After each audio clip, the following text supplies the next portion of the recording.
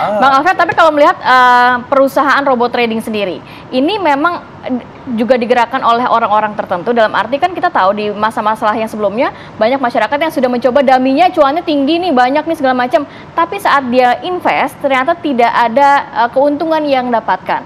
Nah, sebelum uh, menginvestasikan dana kita di sebuah robot trading dan lain sebagainya, biasanya apa sih yang perlu diperhatikan oleh masyarakat? Hmm. Apakah juga sudah ada hitam di atas putih di situ yang memang uh, cukup jelas begitu mengatakan resiko-resiko yang akan didapatkan oleh masyarakat nya seperti apa begitu Bang? Ya pertama proses awal yang mendasar tadi karena memang ini uh, ada dua nih bicara masalah ilegal dan non ilegal. Untuk hal ini memang uh, ada du ada tiga poin yang menurut saya sangat penting yang sangat menjadi harus menjadi concern masyarakat.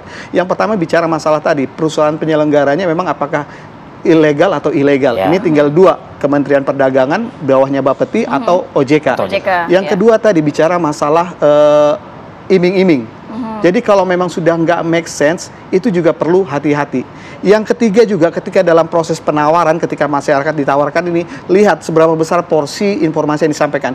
Kalau kebanyakan bicara menjanjikan, ada kata, oh, ini kita tetap deh 10% per bulan. Hmm. Udah itu udah bisa dibilang oh. udah, udah salah. Oh, okay. Jadi tiga hal itu. Nah yang berikutnya kalau bicara dia sudah legal, ketika ditawarin untuk produk trading tadi, pahamin dulu ini resikonya sebesar apa, apakah hmm. cocok dengan diri dia. Sekali lagi dalam proses trading yang ilegal juga untuk produk-produk uh, bursa berjangka itu juga kita tidak uh, penyelenggara tidak bisa menjanjikan keuntungan.